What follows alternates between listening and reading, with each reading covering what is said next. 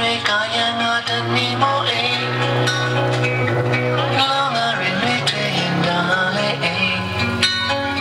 အော်တိုဘာ15ရက်နေ့ကလိုင်သာယာမြို့နယ်မေခလန်းနဲ့မင်းကြီးမဟာမင်းကောင်လမ်းမှာနေထိုင်ကြတဲ့ကျူးကျော်မိသားစုတွေစုပေါင်းပြီးကမ္ဘာလူသားများခြေချနေထိုင်မှုနှင့်အထိတ်အမှတ်ပွဲကိုကျင်းပခဲ့ပါတယ်။လိုင်သာယာမှာဒုတိယကြိမ်ကျင်းပခဲ့တဲ့ဒီခန်းသားမှာကျူးကျော်တွေကသူတို့ရဲ့အခြေအနေတွေနဲ့သူတို့တောင်းဆိုတာတွေတင်ပြခဲ့ကြသလို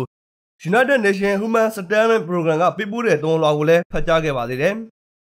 ရန်ကုန်တိုင်းလိုင်သာယာမြို့နယ်မှာအနေနဲ့ရရက်ကခြေဆိုင်နေထိုင်တဲ့သူတွေများလာသလိုလက်ရှိလမ်းဘေးကကျူးကျော်တဲတွေက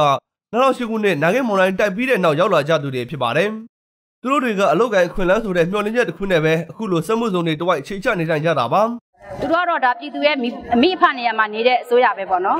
ဒါအနီတို့ကတော့ကိုလိုအပ်ချက်လေးတွေကိုတင်ပြတယ်တောင်းဆိုတယ်ဖြစ်မလားဘူးဆိုတော့လေအနီတို့ကဘာမှတော့မတတ်နိုင်ပါဘူး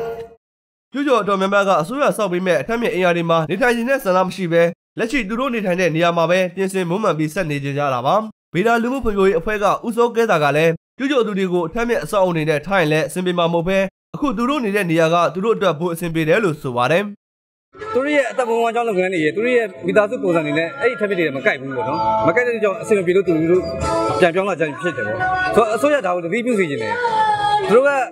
အစိုးရအမြဲတမ်းစဉ်းစားတာကတော့အထက်မြက်အဆောက်အအုံမှာထားမယ်ပေါ့ဆိုတော့ကျွန်တော်အနေနဲ့ဆိုလို့ရှိရင်အိမ်ရပြတ်တာကြီးမဟုတ်ဘူးပေါ့သူတို့စဉ်းစားတာဒါဆိုလို့ရှိရင်သူတို့ကအတိုင်းဝမ်လူမှုအတိုင်းဝမ်တစ်ခုဖြစ်နေပြီတကယ်လို့အထက်မြက်တွေမှာပြန်ထားမယ်တနည်းစီကိုယ်တော့မဆိုသူတို့လူအဖွဲ့စီကအသက်ကပြန်စားမယ်ဆိုတော့တောက်တောင်းလည်းသူတို့ဒီနေရာမှာတက်ရှိနေမှာနေနေတယ်လို့တောင်းဆိုတာပေါ့နော်